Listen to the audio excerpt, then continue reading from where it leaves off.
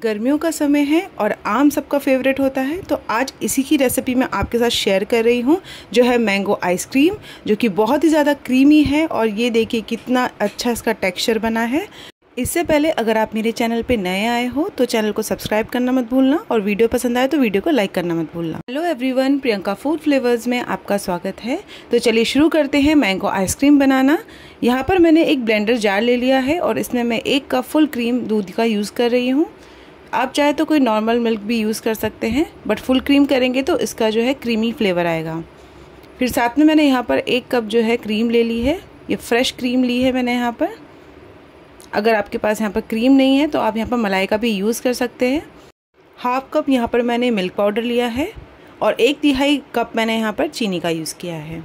आप चाहे तो आम के अकॉर्डिंग चीनी को कम ज़्यादा भी कर सकते हैं। दो बड़े आम मैंने यहाँ पर चॉप करके यूज़ किए हैं। अब इनको हम अच्छे से ब्लेंड कर लेंगे। तो इनको ब्लेंड कर लेते हैं। तो आम का टेक्सचर जो है वो बिल्कुल इस तरीके का होना चाहिए। एकदम स्मूथ टेक्सचर इसमें बिल्कुल भी आम का कोई भी पीस नहीं रहना चाहिए। अब मैंने यहाँ पर एक रेक्टेंगुलर बॉक्स ले लिया है। ये ग्लास का बॉक्स मैंने यहाँ पर यूज़ किया है। आप चाहे तो कोई और भी घर में बॉक्स है, वो यूज़ कर सकते हैं। अब यहाँ पर जो आम की प्योरी बनाई थी, उसको इस कंटेनर में आधा डाल लेंगे। साथ में आम के पीसेस से इसको हम ऊपर से डेकोरेट करेंगे। तो ये अच्छे से मैंने यहाँ पर सारे आम के पीसेस को डाल दिया है। साथ में मैं यहाँ पर टूटी फ्रूटी डाल रही हूँ। इस तरीके से इसको डेकोरेट करूँगी और खाने में भी इसका टेस्ट जो है वो बहुत ही अच्छा आता है। तो एक लेयर हमने यहाँ पर बना ली है। अब यहाँ पर मैं दोबारा से जो है आम की जो प्योरी बनाई थी, उसकी एक लेयर और इसके ऊपर जो है लगाऊँगी। इस तरीके से इसको पूरी तरफ़ से हम लोग कवर कर लेंगे। तो ये पूरा हमारा जो है वो अच्छे से कवर हो जाना चाहिए। तो ये हमारा कवर हो गया है। अब जो बचे हुए आम के और पीसीज हैं, वो भी मैं ऊपर से इसमें डेकोरेट कर लूँगी।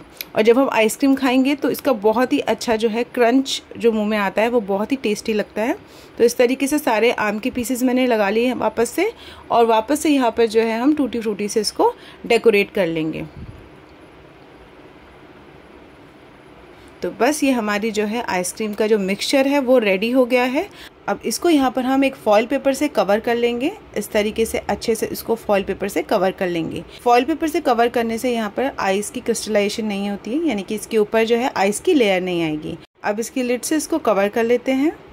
अब करीबन इसको छः से सात घंटे हमें फ्रिजर में रखना है। आप चाहे तो इसको ओवरनाइट फ्रिज में भी रख सकते हैं। अब सात से आठ घंटे हो गए हैं तो मैं इसको चेक कर लेती हूँ कि हमारी आइसक्रीम जो है वो कैसे जमी है। तो इसको ओपन करके देख लेते हैं। ये देखिए कितनी बढ़िया आइसक्रीम ये जमी है और इसको एक बार हम चेक भी कर लेते हैं कि ये कैसी जमी है।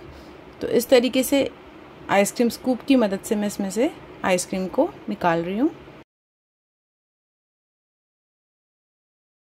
आइसक्रीम बहुत ही अच्छे से जम गई है। तो ये देखिए इसका टेक्सचर कितना अच्छा है, बहुत अच्छे से जमी हुई है ये। तो इसको सर्व कर लेते हैं तो यहाँ पर मैं इसको सर्व कर लेती हूँ इस तरीके से और इसको हम डेकोरेट करेंगे टूटी फ्रूटी। अगर आपको चाहिए तो आप इसमें आम के पीसेस भी डाल सकते हैं बट ऑलरेडी इसके अंदर है तो वो बहुत ही अच्छा टेस्ट देंगे और इसको टूटी फ्रूटी से हम डेकोरेट कर लेते हैं। ये हो गई है रेडी हमारी क्रीमी आइसक्रीम जो कि खाने में बहुत ही ज़्यादा मज़ेदार है। और आप इसको एक बार ज़रूर ट्राई करना, ये बहुत ही ज़्यादा टेस्टी बनती है। आप इसको घर में एक बार बनाएँगे ना तो बार बार बनाएँगे। ये बहुत ही ज़्यादा यमी बनी है। अगर आपको वीडियो पसंद आई हो तो वीडियो को लाइक करना, चैनल को सब्सक्राइब करना और मुझे कॉमेंट करके बताना कि आपको ये